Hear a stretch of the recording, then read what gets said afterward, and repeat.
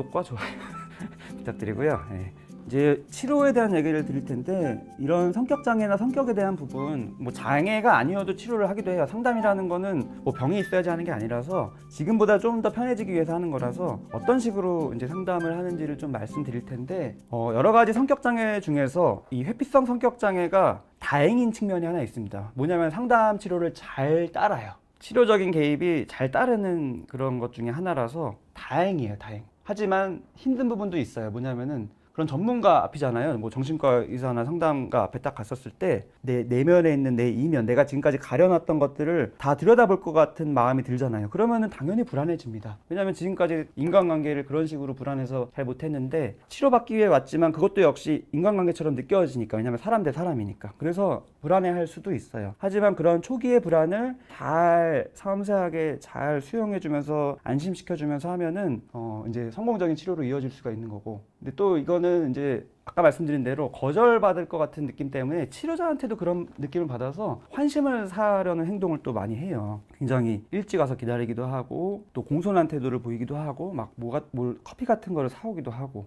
왜냐면은 환심을 사는 행동을 하는 이유는 치료자가 나를 어떻게 보는지가 되게 중요하니까. 역시 인간관계처럼 똑같이 저 사람이 나를 좋아하냐 싫어하냐 요거에 포커스가 항상 맞춰져 있기 때문에 혹시 싫어할까봐. 치료자마저도 날 싫어할까봐 의사가 나를 어떻게 보는지에 따라서 그냥 미묘한 별것도 아- 사실은 치료자는 아무 그런 의미 없음에도 불구하고 본인은 되게 섬세하게 어떤 눈빛 하나나 그런 거에 왜곡된 인식을 해가지고 어, 저 사람이 나를 싫어한다라고 생각하면 불안이 확 올라가고 어 나를 좀 받아주는 것 같아라는 생각하면 불안이 확 내려가고 이런 식으로 왔다 갔다 초반에 많이 할 수 있습니다. 그 다음에 이제 상담을 하다 보면은 그냥 뭐 위로해 주는 것만 하는 게 아니라 결국에는 이런 아까 말씀드린 그런 행동 패턴이나 이런 것들을 잘 설명해 주거든요. 해석이라고 하는데 명료화, 이제 명료화 해석 이런 것들을 할 때 그냥 그게 자기를 좀 알려주고 이걸 잘 살펴보도록 도와주는 말인데도 불구하고 아, 나를 비난한다고 또 이렇게 여겨질 수가 있어요. 그래서 이런 위험 요소들이 곳곳에 있긴 하지만 그래도 전반적으로는 잘 따르고 결국에는 이 불안만 초반에 잘 줄여줘서 안심하면 또 마음을 잘 연다 이런 특성이 있습니다. 근데 이 마음을 잘 연다는 거 역시 또 함정이기도 해요. 왜냐면은 밖에선 내가 인간관계가 되게 힘들고 그렇지만 치료자는 그렇지 않겠지 날 받아주겠지라는 생각 때문에 밖에서의 패턴을 이 치료자의 관계에선 전혀 안 보이는 거예요. 그러면은 치료자는 또 긴가민가 해요. 밖에서 상황을 모르니까 그게 오히려 또 함정이 되기도 합니다. 너무 마음을 또 잘 열어서. 그러니까 이런 여러 가지 복잡한 게 있지만 그래도 치료를 통해서 나아질 수가 있다. 처음에는 좀 신뢰관계를 잘 형성하고 그다음에 그 기본에 있는 내가 거절당할 것 같다는 두려움을 계속 수용해주면서 받아주면서 인정해주면서 하는 그런 태도를 보일 때 마음을 조금씩 열고요. 이제 조금씩 이제 치료가 돼가면서 또 숙제도 내요. 새로운 세상에 결국에는 적응을 해야 돼요. 내가 지금까지 피해 왔어도 이제 조금씩 조금씩 할 수 있는 걸 해가면서 그런 활동 범위를 넓혀야지 결국에는 그런 대인관계 적응이 되는 건데 이때 조심해야 돼요. 섣부르게 또 했다가 실패하면은 이게 더 악순환 됩니다.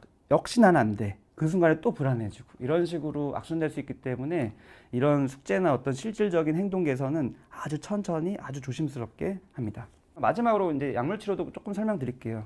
제일 중요한 거는 상담 치료지만 증상이 너무 심할 때 두려운 감정이 너무 클 때는 베타 차단제라고 있어요. 이건 사회 불안 장애 때도 많이 쓰는데 무대 공포증이나 발표 공포증 때도 쓰고 그런 낯선 상황이나 어떤 사람들 많은 데 갔었을 때 내가 너무 두근두근거려가지고 막 말이 떨리고 그러니까 더 어색해서 못하게 되고 이럴 때에는 그 두려운 감정만 조금 줄여도 그 과하게 각성되는 것만 좀 줄여도 나아질 수가 있어요 선순환으로 그래서 그럴 때는 베타 차단제라는 약을 쓰고요 그다음에 항우울제도 보통 많이 쓰는데 어떤 내가 거부 받을 것 같은 느낌에 대해서 너무 이렇게 예민해져 있었을 때 감각적으로 너무 예민해져 있었을 때는 조금 편안하게 하는데 또 도움이 됩니다. 하지만 좀 부수적이에요. 궁극적인 거라기보다는 상담을 하기 위해서 또는 행동 개선을 하기 위한 부수적인 것이고 궁극적으로는 자기 이면에 있는 그런 수용받지 못했던 오랫동안의 경험을 치료자의 관계를 통해서 수용받는 걸 하다 보면은 아 괜찮구나 있는 그대로 자기를 수용하게 돼요.